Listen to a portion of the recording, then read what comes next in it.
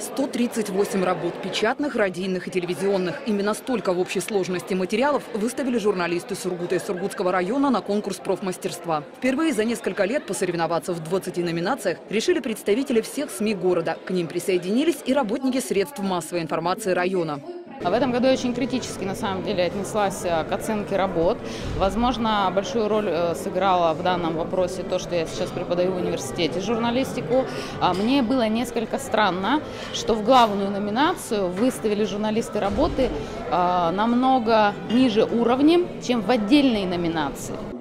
В этом году впервые к оценке работ оргкомитет привлек независимых экспертов со всех уголков страны. Председателем жюри конкурса стал Роман Серебряный, секретарь Союза журналистов России, который отметил высокое качество материалов около пера Сургута и района очень высокий профессиональный очень уровень, потому что работы были в самых разных жанрах. Это были и телевизионные работы, и печатные, и радиоработы.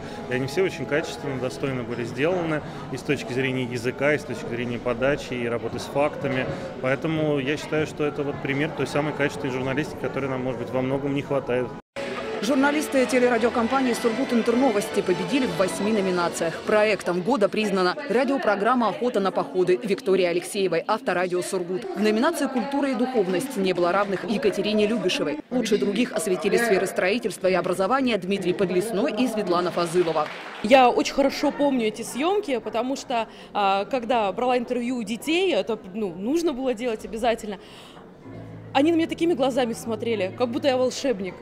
И вот, наверное, вот именно это в профессии журналиста самое главное – видеть отдачу. Отдачу от зрителя, отдачу от людей, с которыми ты разговариваешь.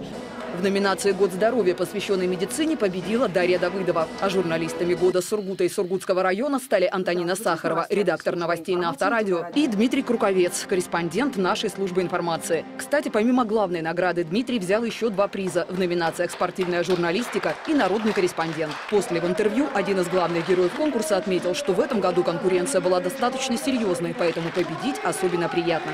Конкуренция всегда приводила только к э, показателю наивысшего результата, поэтому любая конкуренция, которая выше, чем, допустим, в прошлом году, она всегда, конечно, это всегда здорово. И э, особенно приятно и для меня, я знаю, для моих коллег сегодня было побеждать вот в номинациях, знаю, что за, за спиной стоят и другие наши коллеги, оппоненты.